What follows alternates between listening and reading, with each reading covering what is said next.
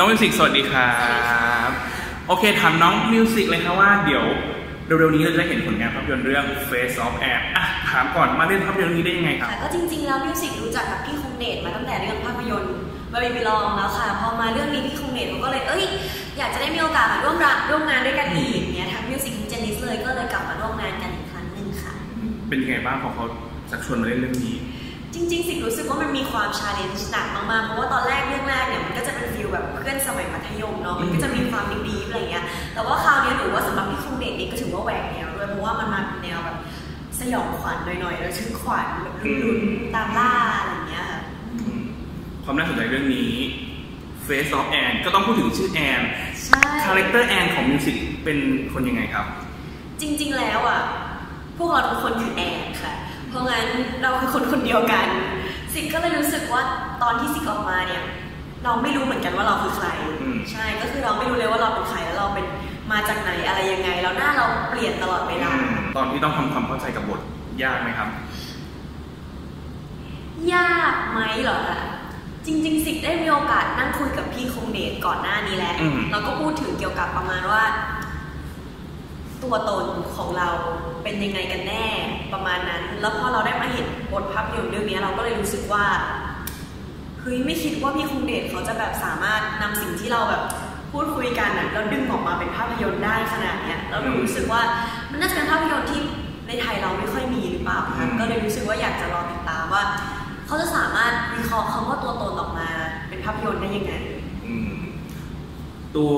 แอนในภาพยนตร์มีอะไรที่คล้ายกับมิวสิกไหมครับ สิกรู้สึกว่าแอนกับสิกเนี่ยมีสิ่งที่คล้ายกันก็คือเราเป็นกระดาษเปล่า ค่ะอืมก็คือเราจริงๆนะตั้งแต่ใช้ชีวิตมาตั้งแต่ตอนเด็กเลยจนถึงตอนนี้เราก็ไม่รู้เหมือนกันว่า เราเป็นคนยังไงกันแน่หนูก็เลยรู้สึกว่าบางคนเนี่ยมันอาจจะมีกระดาษแผ่นเล็กใช่ไหมคะบางคนอาจจะมีกระดาษแผ่นใหญ่ แต่เราทุกคนล้วนสามารถเขียน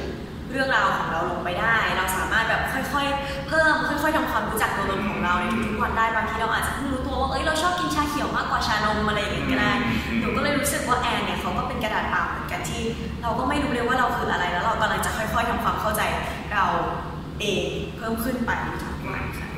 สิ่งที่เราต้องไปเวิร์กช็อปครับมันต้องไปเวิร์กช็อปอะไรบ้างไหนเล่าพี่ฟังหน่อยสำหรับสิกก็คือ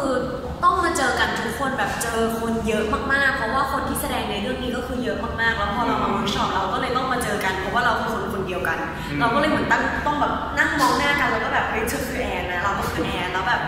เธอจะแสดงแอนออกมาเป็นแบบไหนแล้วฉันล่ะอะไรอย่างเงี้ยหนูก็เลยรู้สึกว่ามันมีความแบบต้องคอนเนคกับคนหลาย ในเรื่องต้อง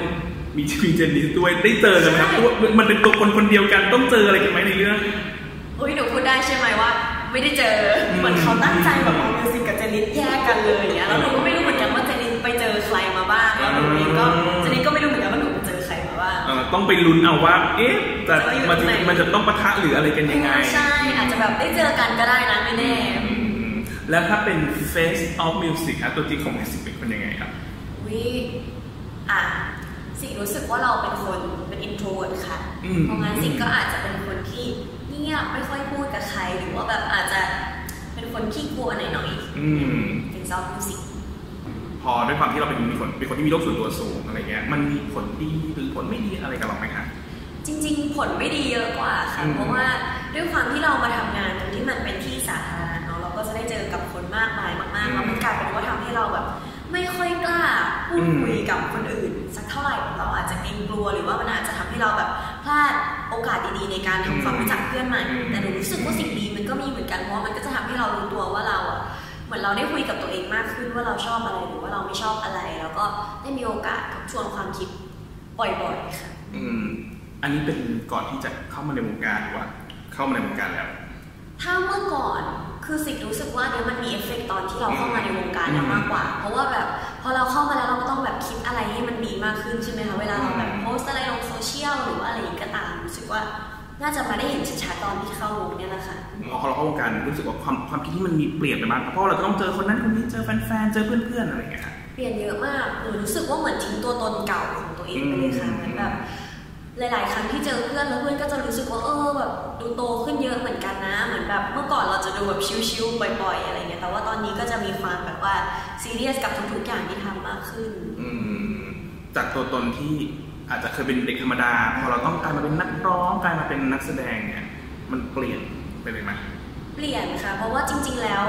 หนูว่าหลาย ๆ คนก็มักจะลืมว่าเราอะเป็นแค่เด็กคนหนึ่งเหมือนกัน เวลาเราแบบทำผิดพลาดอะไรสักอย่างเขาก็จะถือว่า เราก็คือบุคคลที่ยืนอยู่นะที่สาธารณะนะไม่ว่าความผิดพลาดนั้นมันจะ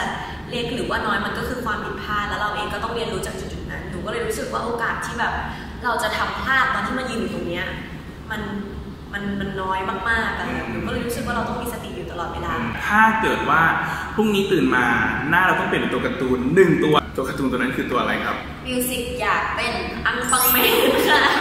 เพราะว่าเขามีหน้าเป็นขนมปังใช่ไหมถูกกินไม่หรอต้องถูกกินด้วยป่ะต้องก็ถูกกินด้วยไหมบางครั้งจริงเหรอพี่หนูไม่รู้เหมือนกันว่าเขาถูกกินหรือเปล่าแต่เออรู้แค่ว่ามันจะแบบกลมๆอย่างเงี้ยเออแล้วก็อยากเห็นตัวเองเป็นขนมปังเออ